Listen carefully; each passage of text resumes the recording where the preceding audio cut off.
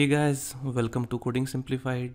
And today our problem is that given a binary tree we need to print all the values at a given level. So if this is a binary tree so for example this is level 1 so if we are given level then we need to print 2 if we are given level 2 means this one then we need to print 7 and 5 and suppose if you have given level 3 then 269 and level 4 5 11 and 4 and if there is level where node doesn't exist then you need you need not to print anything. So uh, what will be our logic? So what we will do will recursively will start from the root. And whenever will and will say that whenever level equals to 1 then print that value.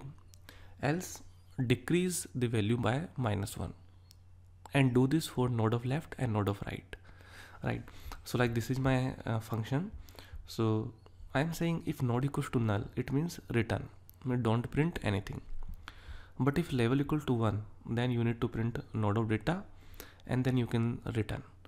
Similarly now you will go with node of left and again you will decrease level minus 1 so what will be the benefit?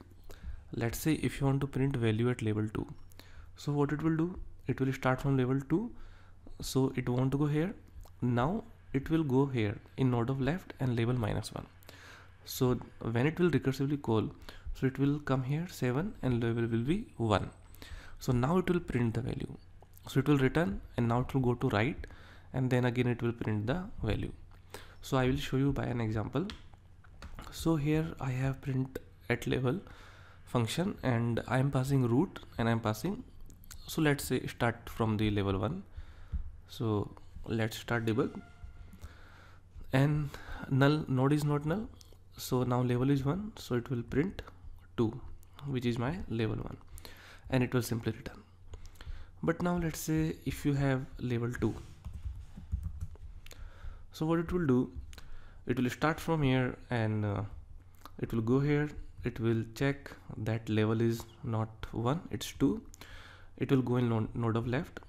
So now node is 7 and level is 1 so now it will go here and it will print the value. Now it will go in node of right which is 5 in this case and level is 1 because we have decreased the level by minus 1 so now it will say okay I will print 5 and it will return. And that's it. Right. So now let's another example of 4 so let's say I want to print level at level 4 which is 5 11 and 4 so if you run the program it will successfully print the values 5 11 and 4 right. So that's it guys. Uh, we have seen uh, how to print all the values at given level. And the complexity of problem is big of n because uh, we are basically traversing the node at least once. Right. So the complexity is big of n and uh, in next tutorials we'll see some more problems on binary tree and if you have liked the video then please like it and subscribe the channel for more such videos. Thank you